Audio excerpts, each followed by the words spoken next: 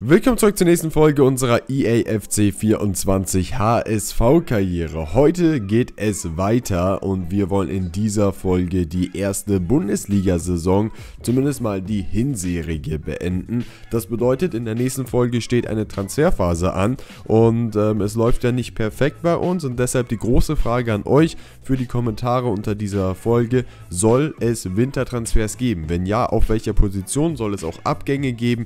Alles mögliche Vorschläge, aber auch spezifische ja, Scouting-Berichte. Also brauchen wir beispielsweise einen Innenverteidiger, brauchen wir einen rechten Flügel, brauchen wir einen Stürmer. All sowas gerne in die Kommentare. Auf welcher Position seht ihr am ehesten Bedarf und welche Spieler sollten wir vielleicht im Winter zu Geld machen? In der heutigen Folge wollen wir dann also die Wintertransferphase zumindest mal erreichen. Spielen dafür an Nikolaus 2025 gegen Union, dann Mainz, Gladbach und Köln. Gladbach werden wir heute auf jeden Fall äh, mal schnell simulieren. Das haben wir, glaube ich, noch gar nicht gemacht, aber gegen Gladbach haben wir halt in der letzten Folge erst gespielt. Deshalb ist es, glaube ich, verständlich, dass wir das jetzt dann mal machen werden. Mit Köln spielen wir dabei in dieser Folge nur gegen einen direkten Abstiegskonkurrenten. Ja, die sind nur einen Punkt hinter uns aktuell. Mainz ist dann schon wieder ganze vier vor uns. Gladbach fünf und Union Berlin ist aktuell sogar Dritter, also die sind auf einem ganz anderen Niveau unterwegs. Dann wollen wir aber heute erstmal reinstarten, also gegen Union. Das wird eine ziemlich schwere Aufgabe. Ihr könnt gerne einen Daumen nach oben da lassen, wenn ihr das Projekt nach wie vor supporten wollt. Gerne ein kostenloses Abo, um nichts mehr zu verpassen. Alle zwei Tage kommt ja eine neue Folge der HSV-Karriere, immer im Wechsel mit der Spielerkarriere.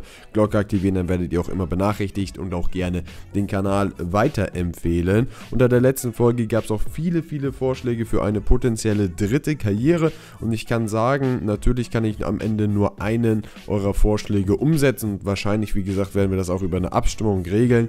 Ähm, aber ich finde, da waren auch echt gute Vorschläge dabei für neue Sprint to Glories. Da würde ich gerne auch mal wieder ein bisschen angreifen in EAFC 24 demnächst. Also mal gucken, vielleicht wird euer Vorschlag nicht als Karriere umgesetzt, aber dann zumindest als ja, STG hier auf dem Kanal. Solltet ihr noch neue Ideen haben, was wir als dritte Karriere machen können, dann schreibt es gerne auch nochmal in die Kommentare. Ich bin da nach wie vor offen. Noch ist sozusagen nicht Einsendeschluss, aber irgendwann wird dann die Abstimmung kommen und dann ja, braucht ihr keine weiteren Vorschläge mehr zu machen. Heute also Union Berlin, ziemlich gute Mannschaft, obwohl der Kader ja gar nicht mal so gut aussieht, aber das kennen wir ja aus der Realität auch so.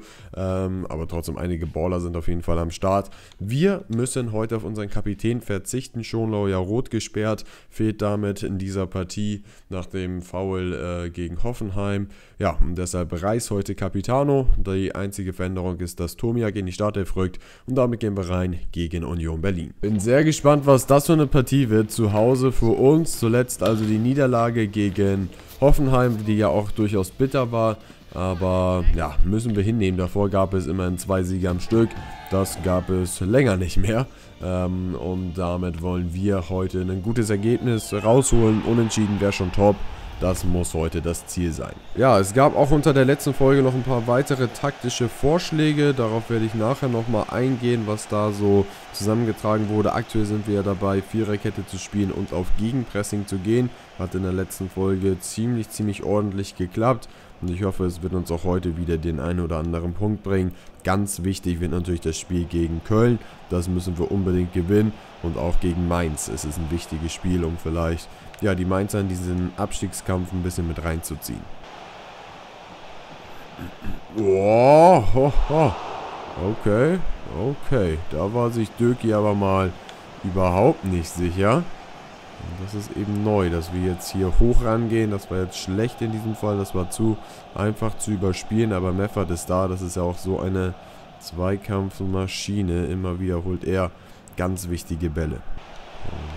Legt ab. Löwe Reis seit der letzten Folge ja wieder zurück. Und heute das zweite Mal, glaube ich, wieder in der Startelf. Und äh, ja, da oben sehen wir es mal. 50 Karrieresiege haben wir mittlerweile eingetütet. Das muss dann gegen Warte mal, aber jetzt kriegt es gar nicht mehr ganz auf die Kette. Gegen Bochum, glaube ich, gewesen sein, der 50. Und das ist ein schöner Heber von Ludewitt Reis und Königsdörfer, der zuletzt so ein bisschen ja, seiner effektiven äh, Phase hinterherläuft. Zuletzt immer mal wieder viele Chancen liegen gelassen. Und das ist hoffentlich ja, eine Sache, auf die wir uns bald wieder verlassen können. Oh, perfekt. Ich sag gerade noch was zu Königsdörfer und Schon liegt er verletzt auf dem Boden, aber was ich eigentlich sagen wollte, die Ecken von Reis und dann Kopfball von Glatzel. Eine Sache, die wir bis jetzt schmerzlich vermisst haben. Und das war hoffentlich fair. Shiri sagt nein. Und dann müssen wir uns jetzt hier mal Sorgen machen über eine rote Karte für Jonas Meffert. Was ist das für ein Start, Alter? Union spielt wie Union unter Urs Fischer, stehen tief, kontern. Ach du Scheiße. Ah, ah, also. Äh, da bin ich jetzt aber normal. Ganz, ganz erheblich gespannt, was das Replay sagt. Weil bis jetzt sah das blitzsauber aus. Oh mein Gott, Leute. Oh, ey. Das ist krass. Das ist ehrlich krass. Er, er trifft ja nur den Ball. Er trifft ja einzig alleine den Ball. Ach du Kacke. Das ist die heftigste Fehlentscheidung, die ich jemals in FIFA gesehen habe. Das ist ja so brutal. Also wenn das seine rote Karte ist, dann ist Lionel Messi der schlechteste Fußballer auf der Welt. Ja, damit der Matchplan natürlich sofort überhaufen geworden. Königsdörfer angeschlagen, deshalb wird er jetzt hier zum Wechselopfer, der einfach raus muss, weil ich kann nicht ohne eine Doppel-6 spielen hier heute gegen Union Berlin. Das können wir komplett vergessen. Und hier gleich die Gelegenheit, aber das war zum Glück abseits. Also schreibt es mir gerne in die Kommentare, aber ehrlich gesagt muss ich jeden, der mir in die Kommentare schreibt, das war eine rote Karte, einfach nur auslachen. Weil das war nie im Leben rot. Das war ja nicht mal ein Foul. Also mir ist ja auch schon klar, dass er die rote Karte am Ende deshalb gibt, weil er letzter Mann war. Und nicht aufgrund der Härte des Fouls. Aber es war ja auch einfach kein Foul. Er trifft ja nur den Ball. Also am Ende, natürlich wird der Gegner abgeräumt, aber du kannst ja nicht mehr Ball spielen als das. So, also, dass der Gegner halt da ist, okay, aber das ist halt kein Foul, wenn du so viel Ball triffst. Es ist ja nicht so, dass er erst Gegner trifft und dann Ball. Also, ja, wie gesagt, schreibt eure Meinung da gerne mal in die Kommentare, aber für mich ist das niemals eine rote Karte. Oh, super von Paul Will. Der hohe Ballgewinn gegen Robin Gosens. Mal gucken. Ja, ist natürlich jetzt auch schwierig in Unterzahl hier weiter gegen Pressing zu spielen. Das war schön gespielt. Über Nürnberger Reis und dann Alidu. Schwieriger Abschluss. Aber kommt immerhin mal aufs Tor von Renault. Paul Will, da geht die Lücke auf. Alidu! 1-0 Führung, KSV. Paul Will. Deutsche Xabi Alonso. Ich sage es, wie es ist. Ihr wisst es, mein Verhältnis zu Paul Will ist vielleicht besser, als es sein sollte. Aber ihr müsst die Augen aufmachen. Der Typ ist verdammt nochmal Bundesliga-tauglich. Also Paul Will, tiefe Pässe mit links, die sind einfach nur Zucker. Also da war ja auch alles frei bei Union, aber der Pass muss halt auch so kommen. Bakariata, ähm, ja, hätte ihn vielleicht auch gemacht, aber es ist sein Nachfolger, Ali Du, der sein erstes Tor wieder im HSV-Trikot macht nach vielen, vielen Jahren. Sehr, sehr nice. Sehr, sehr schön und das zu Hause im Volkspark. Freut mich wirklich sehr. Und ganz nebenbei in Unterzahl, ne? Nach 35 Spielminuten Union hatte noch keinen Torschuss. Oh, vielleicht hätte ich das nicht so laut sagen sollen. Da sind sie jetzt nämlich mal mit einem Abschluss, der auch zählt. Die eine Chance, die sie ja hatten, das war ja abseits. Ähm, Schäfer mit der anschließenden Ecke, Heuer aber da. Wow, durchgesteckt. Reis rüber für Glatze. Leite steht noch im Weg. Paul will volles Risiko aus der zweiten Reihe.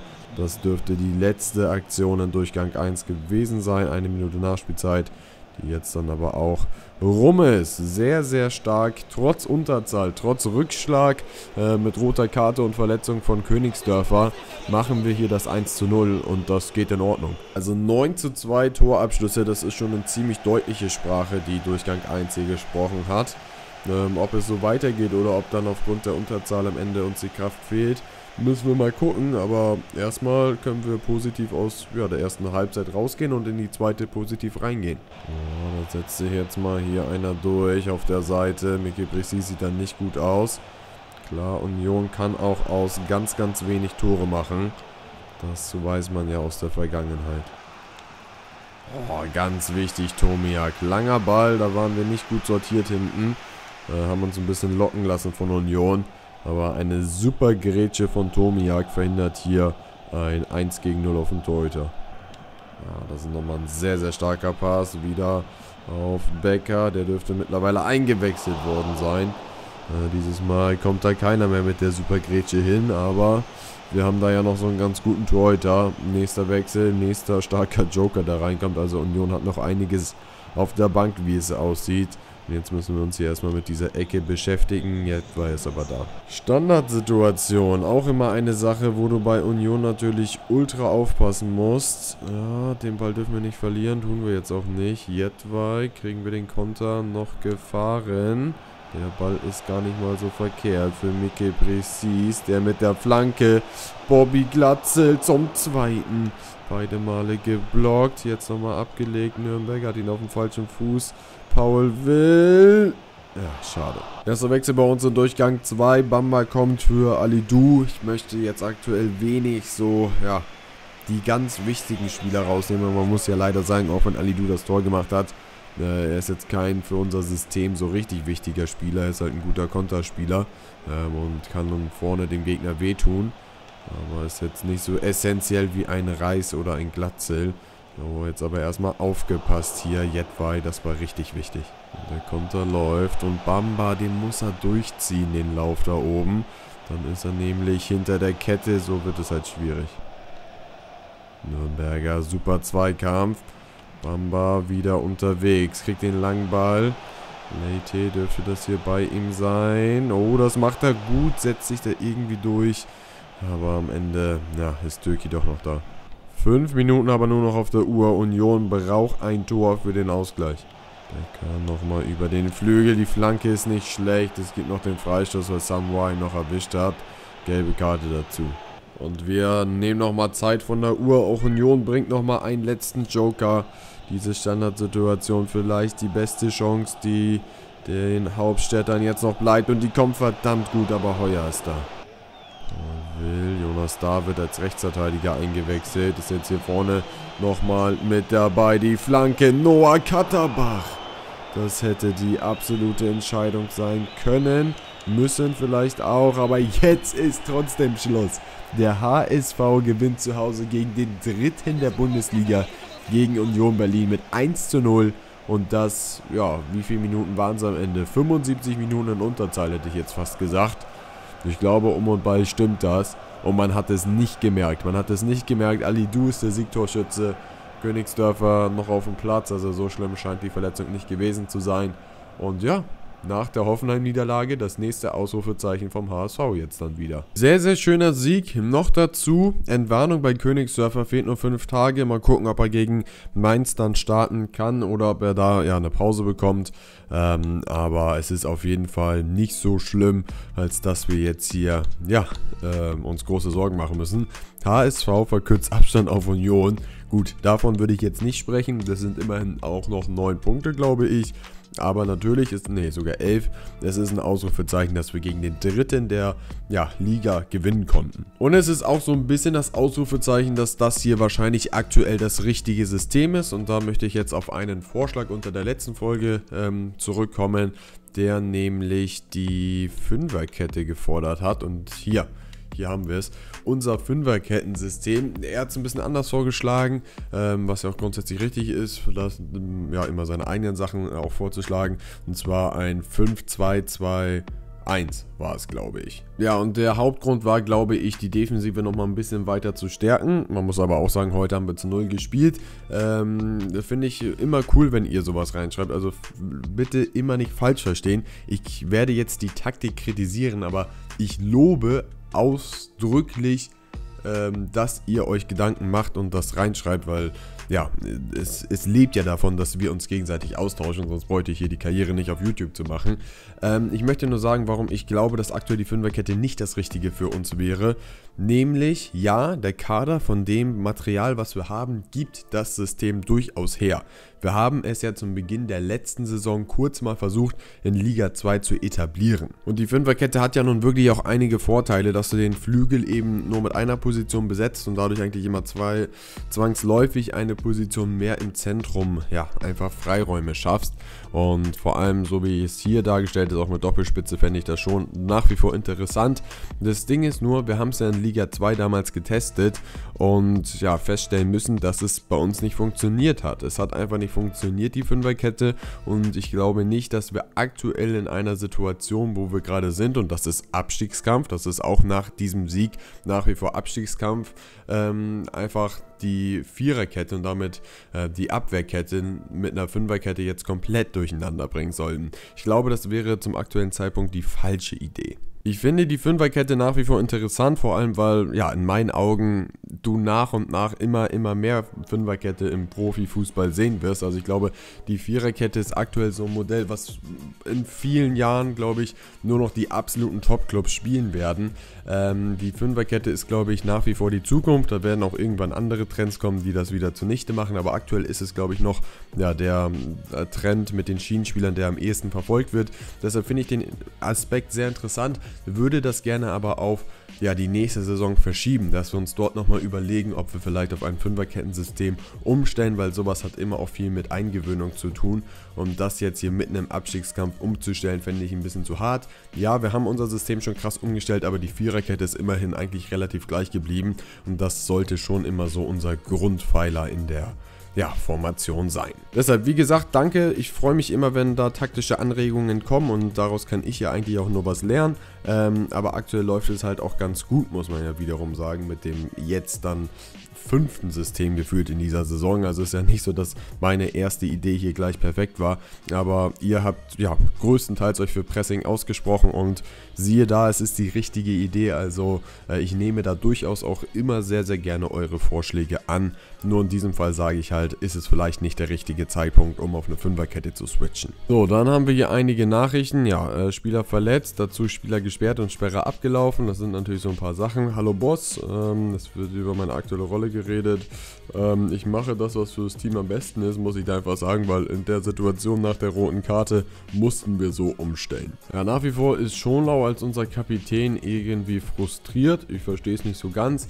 Heuer Fernandes wiederum ist sehr glücklich und Jensen ist enttäuscht, dass er nur von der Bank kam. Der wollte gerne in die Startelf, aber es tut mir leid, wenn Ludovic Reis fit ist, ja, dann ist auch ein Jensen eher ein Bankkandidat. Selbiges gilt übrigens für Pohlmann, bei dem wurde auch unter der letzten Folge gefordert, dass er doch häufiger mal von Anfang an spielen soll. Aber ja, ich finde, Paul Will, also an Paul Will ist aktuell echt kein Vorbeikommen. Reis eigentlich ja auch nicht. Und äh, Meffert, ja, ist jetzt gesperrt und das ist nicht so gerade die Position für Pohlmann. Es ist schwierig, aber wir wollten den breiten Kader haben und ja, hätte Königsdörfer sich jetzt länger verletzt, hätten wir auch definitiv diesen breiten Kader gebraucht. Also da bin ich schon froh, dass wir einen Pohlmann auch haben und wir haben ihn nicht als absoluten Stammspieler geholt. Ich glaube, das weiß er auch und deshalb ja, muss er sich natürlich seine ja, Plätze erkämpfen. Man muss ja aber auch sagen, er hat es bis jetzt eigentlich immer recht gut gemacht. Vor dem Duell gegen Mainz sind wir jetzt übrigens nur noch einen Punkt hinter ihnen, also das wird richtig eng und sind sind auch schon 5 Punkte aktuell vor dem Relegationsplatz. Ist natürlich alles noch super eng. Also das kann so schnell sich wieder in die andere Richtung drehen. Aber das ist wie so gegen Hoffenheim in der letzten Folge. Ein Schritt, wo wir jetzt echt mal ja, einen kleinen Schritt rausmachen könnten aus dem Abstiegskampf. Deshalb wieder ein sehr, sehr wichtiges Spiel tatsächlich. Dann möchte ich noch ein paar Transfervorschläge hier eben nennen. Die möchte ich natürlich nicht unterschlagen. Baumann von Bochum soll ich mir scouten. Mache ich gerne. Leon Lauberbach, Ex-Kieler, als potenzieller Glatze-Nachfolger, weil ähnlicher Spielertyp. Waldemar Anton hier bei Stuttgart. Stuttgart muss man ja bedenken, hier in der Karriere eine andere Nummer als in der Realität. Das muss man schon dann karrierespezifisch realistisch sehen. Sambo, Jeboa und auch Osman als auch Mannhoff. Ähm, dazu habe ich schon viele, viele Spieler jetzt mal, wo das Scouting abgelaufen ist, von der Transferliste runtergeschmissen. Das wurde schon häufiger bemängelt, dass ich da mal ein bisschen aufräumen soll und ist natürlich auch richtig. So ein Spieler wie RAMB oder Osterhage, die aber durchaus sehr interessant für uns sind, habe ich jetzt dann draufgelassen und ähm, ja, einen neuen Scouting-Auftrag angefordert. Ich hoffe, wir werden bis zur nächsten Folge noch viele, viele weitere Transfervorschläge äh, zusammentragen können von euch. Überlegt, wie gesagt, auf welcher Position wir Bedarf hätten. Immer wieder genannt wurde die Flügelposition. Da wir auf dieser mit äh, Königsdörfer nur einen Unterschiedsspieler hätten, ähm, lasse ich jetzt einfach mal so im Raum stehen, ob das dann wirklich so ist, ob Ali Du kein Unterschiedsspieler ist. Das soll jeder für sich entscheiden. Ich finde aber grundsätzlich die Idee, noch einen Flügelspieler zu holen, nicht ultra schlecht. Vor allem hätte ich dann, wenn dann, gerne einen Spieler, der ein bisschen Flair reinbringt. Also einer, der auch mal einen geilen Trick macht und dadurch einfach auch die Fans ähm, ja, wieder so ein bisschen besänftigen kann, wenn es mal nicht so gut laufen sollte. Und dort hatten wir bereits über den guten Mann hier gesprochen im Sommer. Luciano Rodriguez finde ich super nice, weil das ist halt so ein völlig unbeschriebenes Blatt. Ähm, völliger Random-Transfer wäre es, aber genau sowas fände ich halt sehr, sehr cool. Ein Spieler, der jetzt noch nicht so mega bekannt ist, zu verpflichten. Das hätte durchaus seinen Reiz und der halt, wie gesagt, so ein bisschen Flair-Charakter, ein bisschen Straßenfußballermäßig äh, mit sich bringen würde. Also, wir haben da schon den einen oder anderen Spieler hier auf der, auf der Liste. Aber da bin ich doch sicher, dass wir dort auch nochmal ein paar Vorschläge sammeln. Ihr könnt aber auch gerne in die Kommentare schreiben, nee, ein Flügelspieler aktuell ergibt gar keinen Sinn, weil der Kader ist schon breit genug. Es ist für mich auch eine legitime Meinung. Ähm, da müssen wir dann aber eben ja ein bisschen diskutieren und am Ende kommen wir dann hoffentlich zu einem vernünftigen Ergebnis. So, dann geht es also rein gegen Mainz und das ist eine verdammt gute Mannschaft, die ich hier sehe bei den Mainzern. Ja, da ist der ein oder andere gute Offensivspieler dabei, aber vielleicht ein bisschen zu offensiv das Ganze ausgerichtet. Das könnte eventuell eine Chance für uns sein. Bei uns gibt es einige Veränderungen. Ähm, Schonlau rückt wieder rein für Tomiak. Tomiak und Jetwei haben es beide gut gemacht. War eine schwierige Entscheidung, habe mich für Jetwei entschieden. Ähm, dann Nürnberger als Meffert-Ersatz. Auch der hat es gut gemacht im letzten Spiel.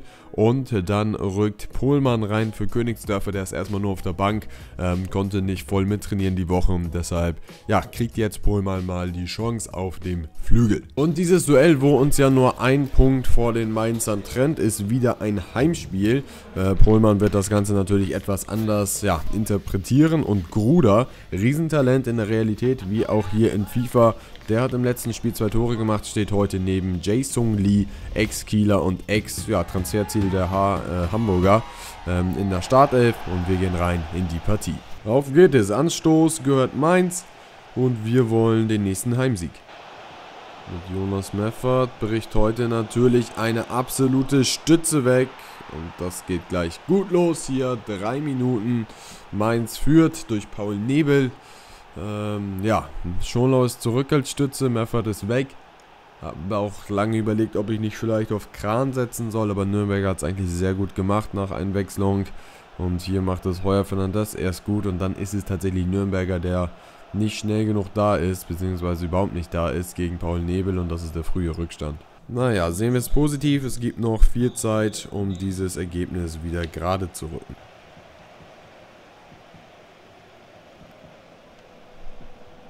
Du nach einem langen Ball von Heuer Fernandez.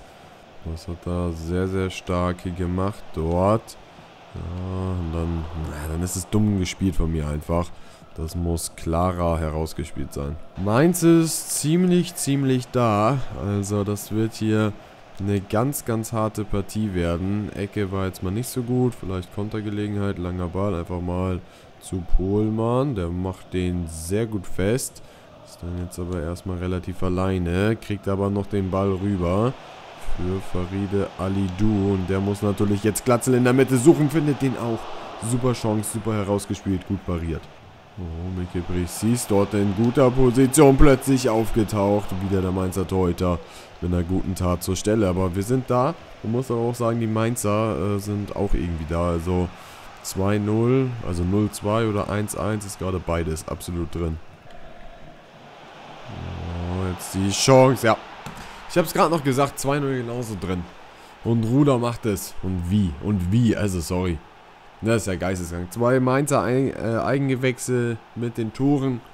Mainzer sowieso eine der underratedsten Jugenden. Ich glaube mittlerweile jetzt nicht mehr so, aber die haben ja eigentlich so eine krasse Durchlässigkeit, wenn man mal überlegt, wer da alle so rumläuft. Johnny B, Viper, Gruder, Nebel, gut, der ist in der Realität verliehen. Aber trotzdem, das ist schon heftig und hier das 2-0 ist sehr, sehr bitter, weil wie gesagt, wir waren auch nah dran am Ausgleich. Okay, jetzt, ja, wenn das nicht rot ist, dann, dann bin ich durch für heute. Dann bin ich durch, weil dann ist es eine Bodenlosigkeit, die ich lange nicht mehr gesehen habe. Es ist gelb. Es ist gelb für Chervi. Das müsst ihr mir erklären. Digga, das ist... Das ist so geisteskrank. Dieses Foul. Digga, der hätte da gerade die Karriere von Alidu beenden können. Das ist gelb. Ich finde es ultra dumm, dass dieses Foul gespielt wird von der KI. Weil es ist unrealistisch, es ist unnötig, es ist... Ja, absoluter Quatsch. Aber wenn es gespielt wird, muss es auch rot sein. Reis setzt sich irgendwie durch und Glatzel kommt da noch ran. Da war Hansen Olsen oder wie der Typ heißt. Nicht ganz wachsam. Die Ecke ist gut und ihr wisst es. Ich habe es noch angekündigt. Diese Kombination haben wir bis jetzt echt vermisst und jetzt ist sie wieder da. Ecke Reis, Kopfball Glatzel, Gleichung gleich Tor.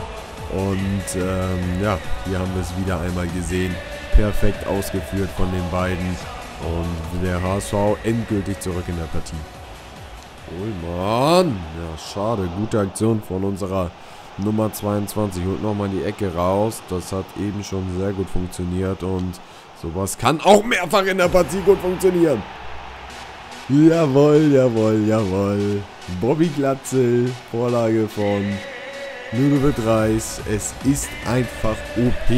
Es ist verdammt nochmal OP, dieses Duo. Let's go. Es ist so wichtig. Ja, Torhüter absolut bedient und das verstehe ich in diesem Fall auch echt, weil da war jetzt gerade eine Chance da für die Mainzer, diese Ecke zu verteidigen. Äh, da waren sie nämlich voll dran. Zu dritt stehen sie da um Glatzel herum und verlieren trotzdem das Duell, ohne dass Glatzel überhaupt den Boden wirklich verlassen muss. Ja, und äh, der HSV kommt innerhalb von kürzester Zeit von 0-2 auf 2-2 zurück, dank zweier Ecken von Ludovic Reis. Unentschieden geht zur Pause auch absolut in Ordnung, also wir dürfen uns jetzt echt nicht hier äh, irgendwie ja, kleinreden lassen, weil wir spielen genauso mit, wie es auch Mainz tut. Also wirklich, Statistiken zur Pause absolut ausgeglichen. Äh, unentschieden geht, stand jetzt in Ordnung. Und mal gucken, was die... Ja, Digga, Chevy, Alter. Ich, ich sag nichts mehr dazu. Der kann froh sein, dass er noch auf dem Feld ist und macht hier wieder so eine dumme Grätsche. Was soll denn das? Oh, starker Bass auf Lochzek. Adam Lochzek. Oh, zweiter Ball noch heiß, dritter Ball noch heiß. Irgendwie werfen unsere Jungs sich rein. Vierter Ball, der ist drin. Nee, Heuer ist da. Gruder geht raus. Früh in der Partie, also da wird er ein bisschen geschont. Ähm, das ist auf jeden Fall gut für uns, aber Azorg natürlich äh, ein auch ja, sehr gefährlicher Spieler. Oh, Lochzek. Pfosten, Samoa, Torwart. Jawohl. Mainz jetzt immer mal wieder mit ein bisschen Pressing. Das kriegen wir in diesem Fall aber gut überspielt und da ist Glatzel. Aber auch auf der anderen Seite können sie Schüsse blocken. Glatzel. Nächste Chance. Faride Du. Scheitert am Torhüter. Mainz kommt überhaupt. Ach, Digga. Schonlau, Alter. Ich raste gleich aus bei dem Gegentor. Was macht der denn? Also wenn du nicht alle vier hinten gleichzeitig steuerst, dann kannst du es auch wirklich manchmal komplett in die Tonne treten. Das ist ja geisteskrank. Schonlau bewegt sich weiter zur Auslinie. Hier, guck mal, guck mal. Er bewegt sich weiter zur Auslinie, anstatt den Passweg dazu zu machen. Ja, 3-2 Mainz hätte auf beiden Seiten fallen können. Tendenziell ist es für Mainz etwas verdienter. Zum Glück haben wir noch ein bisschen Joker-Material. Äh, Königsdörfer kommt rein für Pohlmann. Hat es nicht schlecht gemacht, hat die Ecke fürs 2 zu 2 rausgeholt. Aber jetzt auch nicht mega auffällig heute gewesen. Mal gucken, ob Ransi ja, uns nochmal helfen kann. Das war die nächste Riesenchance. Paul Nebel, der das da sehr stark gemacht hat. Aber noch bleibt es hier bei der nur ein Tore Führung und das wird jetzt sehr eng. Nochmal der Ball heiß, schon laut da, aber wir kriegen ihn nicht rausgeklärt. Ja, scheiß drauf. Scheiß doch einfach drauf, meins ist besser, wir müssen es einsehen. Ja, und deshalb rotiere ich jetzt auch einfach. Wir müssen die Niederlage hinnehmen, wenn wir jetzt nicht gerade noch ein paar Ecken haben. Aber Glatze geht jetzt auch raus, Tom Sonne kommt rein.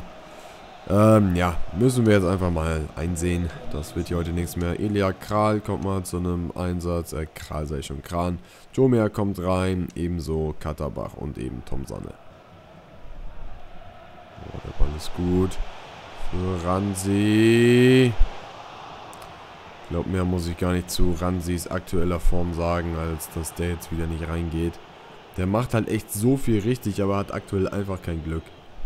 Du geht nochmal vorbei, kriegt er die Flanke rüber. Ne, da merkt man dann halt auch immer wieder, äh, dass es nur Alidu ist und äh, ja, nicht Franck Ribéry. So, und damit war's das von dieser Partie. Heimniederlage gegen Mainz, ähnlich wie gegen Hoffenheim, die Chance gehabt, mal unten ein bisschen rauszukommen. Dann jetzt aber doch wieder eindeutig ja, gezeigt, aufgezeigt bekommen, dass wir in dieser Saison definitiv nur gegen den Abstieg spielen werden. Und das ist auch völlig okay. Dennoch vier Gegentore ist ein bisschen viel. Ja, ich glaube, ich muss gar nicht viel zu der Partie sagen. Ähm, aber ja, ähm, Bamba durfte jetzt gar nicht spielen, glaube ich. Den habe ich gar nicht mehr eingewechselt. Der wollte eigentlich ganz gerne Königsdörfer ersetzen, aber habe mich da für Pohlmann entschieden ja, müssen das einfach abhaken. Wir haben jetzt als nächstes Gladbach. Wie gesagt, machen wir eine Schnellsimulation draus und dann zum Abschluss der Folge nochmal wichtiges Spiel gegen Köln. Zwei Spieler könnten wir verlieren, Meffert und Reis. Da werden wir ähm, dann in der nächsten Folge mal reingehen in die Vertragsverhandlungen. Ähm, habt euch bis jetzt alle dafür ausgesprochen, dass wir beide Verträge eigentlich verlängern sollen. Deshalb denke ich, werden wir das am Ende auch machen. Vielleicht dann aber bei Reis mit einer Freigabesumme, weil ja, äh, der ist schon verdammt gut. Der ist schon echt verdammt gut. Äh, ist jetzt auch kein Zufall, dass die Ergebnisse jetzt gerade wieder ganz gut werden, wenn Ludovic Reis auf dem Feld steht. Zwei Vorlagen im letzten Spiel gemacht. Der ist verdammt wichtig, verdammt gut und ähm, ja, mal gucken. Der könnte auch durchaus nochmal woanders spielen, glaube ich, als nur beim HSV. Auch wenn er sich in Hamburg ja sehr, sehr wohl fühlt. Ich meine, er ist bei uns jetzt hier aktuell zweiter Kapitän hinter Schonlau. So, vor der Partie gegen Gladbach sind wir nur noch knapp vorm Relegationsplatz. Allerdings hat Stuttgart auch schon ein Spiel mehr. Das ist die Mannschaft. Achter Platz aktuell Gladbach. Die spielen Flügelspiel und wir rotieren heute mal ein bisschen für diese Partie. Mal gucken, ob das die richtige Entscheidung ähm, ist. Gegen den 8. gehen wir also rein. Schnellsimulation zum ersten Mal in der Bundesliga. 2-0 Auswärtssieg. Samoa und Jensen machen die Tore. Das ist doch mal richtig, richtig geil. Revanche damit für den Pokal, fürs Pokal ausgeglückt. Und ein absolut nicht eingeplanter Sieg der uns natürlich super hilft im Abstiegskampf. Also den Erfolg nehme ich natürlich sehr, sehr gerne mit. Jetzt dann gegen Köln, die sind mittlerweile unten auch etwas rausgekommen. Man muss ja sowieso sagen, unten ist mittlerweile eigentlich ja erstmal mit einem gewissen Puffer auf drei Teams zu reduzieren. Hertha, Stuttgart, Bochum. Wir haben vor den Relegationsplatz ganze 8 Punkte Vorsprung. Die Hertha selbst hat erst 9 geholt. Das ist schon echt nicht wenig, muss man sagen. Köln allerdings ein Gegner, den wir mit einem Sieg überholen könnten. Ich habe richtig Bock. Nochmal ein Heimspiel. Was eine geile Folge. Auf geht's gegen die Kölner. Mir fällt es jetzt gerade so ein bisschen ein, das hätte ich vielleicht mal vorher ansagen können. Ihr könnt doch gerne mal in die Kommentare schreiben, welche Spieler sich wieder einen Entwicklungsplan verdient haben. Für die, die es nicht wissen, ich mache es ganz gerne so, dass ja nur die Spieler, die auch wirklich sehr, sehr gut waren, einen Entwicklungsplan bekommen, um so ihr Gesamtrating dann ein bisschen zu pushen und auch realistisch sich nur verbessern, wenn sie sehr, sehr gut sind. Deshalb gerne mal da eure Kandidaten reinschreiben. Äh, für mich wäre es auf jeden Fall ein Paul Will, aber da gibt es auch noch den ein oder anderen Kandidaten. Da da bin ich auch auf eure Meinung gespannt. So, und dann jetzt also das Duell gegen den ersten FC. Freue ich mich sehr drüber. Interessante Mannschaft mit auch noch vielen Spielern aus der Realität. Standard-Taktik bei den Kölnern. Bei uns viele Veränderungen natürlich im Vergleich zur letzten Partie. Äh, Jensen, einer, der in der letzten Partie brillieren konnte von der Bank, startet heute mal auf dem rechten Flügel. Miki Precis wird dadurch ein bisschen mehr nach vorne mitarbeiten dürfen. Und damit gehen wir rein gegen die Kölner. Heute ein Sieg und wir können die Hinrunde so gut beenden, wie ich es mir überhaupt nicht hätte vorstellen können vor dieser Folge. Also alles reinhauen. Im Volksparkstadion drei Heimspiele in einer Folge, also das hat auf jeden Fall einen Daumen nach oben verdient. Und ich hoffe, dass wir heute noch ordentlich häufig die Torhymne hören werden und äh, wenig uns über Gegentore ärgern müssen.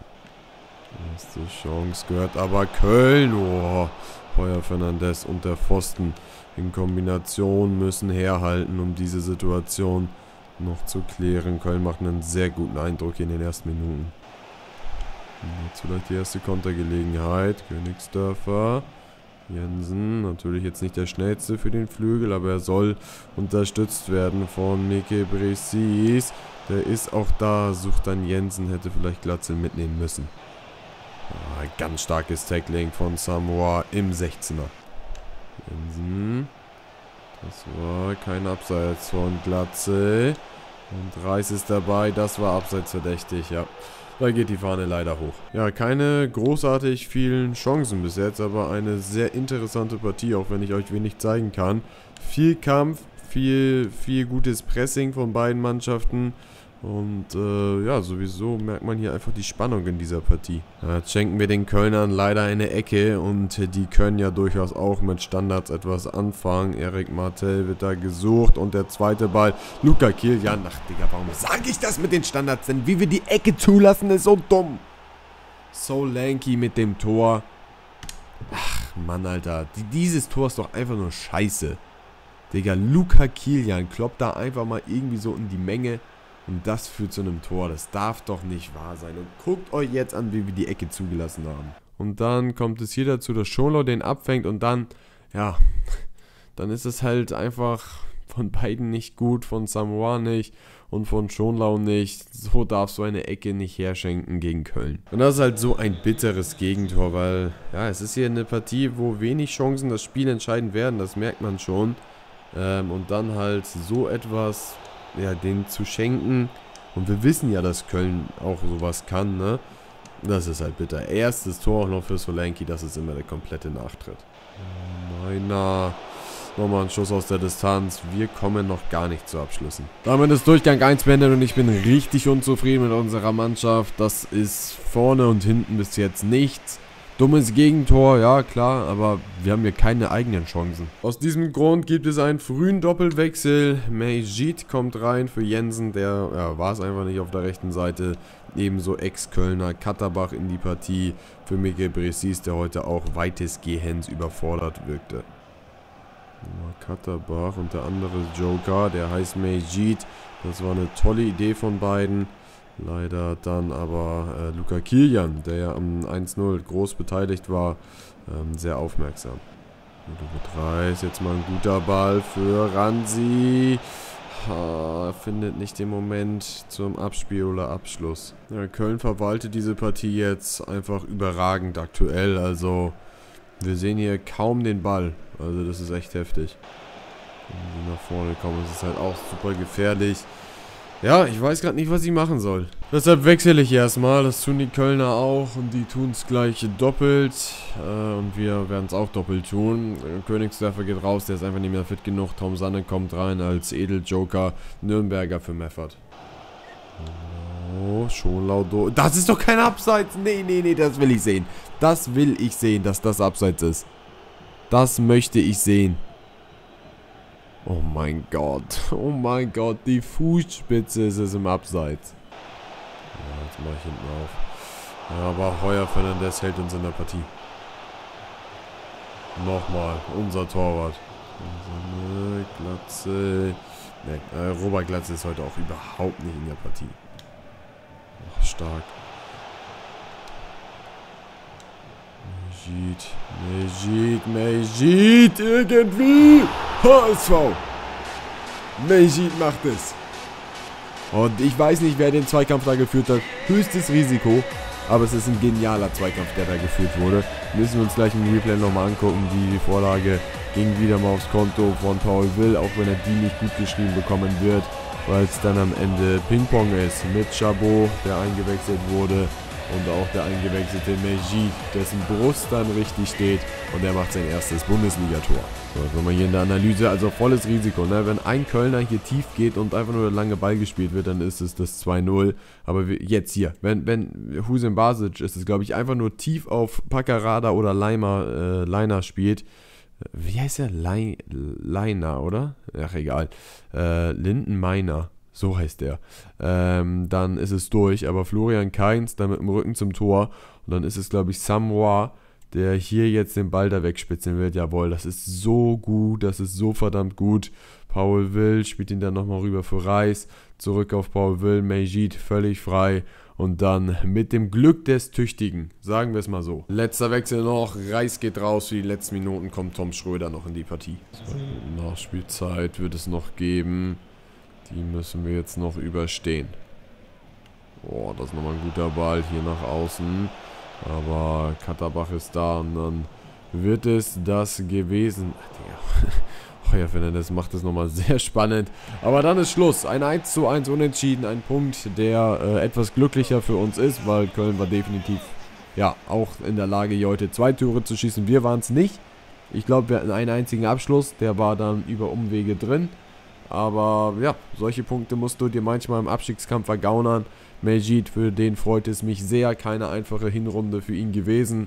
Nur sechs Einsätze, aber jetzt dann konnte er sich mit dem Tor nochmal empfehlen. Mit 1 zu 9 Torschüssen ein glücklicher Sieg an Heiligabend für den HSV.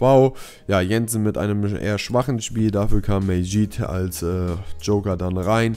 Und ja, Glatze nach wie vor natürlich sehr, sehr stark. Der dürfte in der Torschützenliste auch gar nicht so schlecht dastehen. Da will ich nochmal kurz rausgucken. Tatsächlich zweiter hinter Openda von Leipzig. Ja, Jensen entschuldigt sich dann auch. Äh, da muss mehr kommen, sage ich jetzt einfach mal. Ronny Baumann wurde gescoutet. Sieht nach einem sehr interessanten Talent aus. Also erinnert mich auf jeden Fall an den, sollte Bochum absteigen. Und danach sieht es ja aktuell aus. Ganz ist die Hinrunde noch nicht beendet. Wir müssen noch gegen Leverkusen spielen. Das ist dann aber erst nach der Winterpause. Deshalb gucken wir jetzt mal auf die ja, bisherige Tabelle. Leverkusen punktgleich und Tordifferenz gleich mit Bayern an der Spitze. Dann kommt der BVB auch punktgleich, aber ein schlechter in der Tordifferenz. Dann Leipzig mit nur einem Punkt weniger. Dann Frankfurt mit zwei Punkten weniger als Leipzig. Also verrückt eng ist es vorne. Ähm, das ist mal ein Meisterschaftskampf, wie man ihn sich wünschen würde. Wolfsburg, Gladbach, Union, Freiburg, Köln. Ja, 20 Punkte Köln. 18 Mainz, 18 HSV mittlerweile. Also diese und die letzte Folge haben wir ja so rausgerissen, das ist geisteskrank. Ähm, sind auf einem guten Weg, 40 Punkte Ziel zu erreichen. Ähm, sind da, ja, wenn wir, also gegen Leverkusen werden wir höchstwahrscheinlich verlieren. Dann hätten wir aber 18 Punkte geholt in der Hinserie. Und wenn wir in der Rückrunde etwas besser nur performen, haben wir die 40 Punkte drin. Knapp verfolgt werden wir von der TSG aus Hoffenheim, Schalke als Mitaufsteiger, Augsburg auf der 15. Und dann, ja, Hertha konnte jetzt nochmal gewinnen am letzten Spieltag, wie es aussieht denn die sind noch mal ein bisschen rangekommen, aber immer noch ja, mit einigem Vorsprung äh, können wir auf die auf dem Relegationsplatz blicken. Dann die Stuttgarter mit 9 Punkten und Bochum abgeschlagen, letzter mit nur 4 Punkten. Bester Torschütze stand jetzt also Openda, bester Vorlagengeber Tyram, dort ist unser bester Paul Will, hört, hört, ja, mich überrascht es nicht. Und Kepa tatsächlich bester Torsch äh, Torschütze, Torhüter bei den Bayern und Heuer Fernandez, auch wenn wir viele Gegentore haben, äh, aber auch viermal zu null gespielt. So, dann war's das für diese Folge. Schreibt gerne alles mögliche zur Wintertransferphase rein. Ich will auf jeden Fall die Verträge verlängern mit äh, Meffert, Reis, Andresen, habt ihr gesagt, eher auslaufen lassen. Ich glaube, da damit könnten wir leben. Der hat erst ein Spiel gemacht. Schreibt mir aber auch gerne mal in die Kommentare, ob wir unsere ganzen Talente, die wenig gespielt haben, beispielsweise an Elia Kran, ähm, ein Nemeth, ein Tom Schröder, ein Jonas David auch, obwohl wir den eigentlich im Kader brauchen würden, oder eben auch ein Mejid äh, nochmal verleihen sollen, oder ob die ja irgendwie auch die Saison mit wenig Spielzeit überleben müssen, weil wir sie ja tendenziell dann auch in gewissen Situationen brauchen. Schreibt mir das gerne in die Kommentare, Transfervorschläge, auf welchen Positionen sollen wir was tun, sollen wir überhaupt was tun? Sollen wir die Verträge mit Meffert und Reis wirklich verlängern oder sagt ihr doch, nee, lass mal auslaufen? Das alles in die Kommentare und dann sehen wir uns morgen wieder bei der nächsten Folge der Spielerkarriere. Dort gab es in der letzten Folge übrigens die Abstimmung, ob wir zu Real oder Barca wechseln wollen und in zwei Tagen geht es dann auch schon weiter mit dem HSV. Ich hoffe, da sehen wir uns dann spätestens wieder. Bis dahin macht es gut und ciao.